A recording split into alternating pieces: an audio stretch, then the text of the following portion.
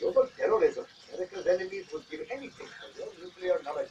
Yeah, I do know a lot about nuclear. Here, so many enemies. Iran, Iraq, China, Mordor, the great those are the rules, undesirable immigrants, Palestinians, everyone that came after me, including my children. So I'm offering to trade your country nuclear secrets for a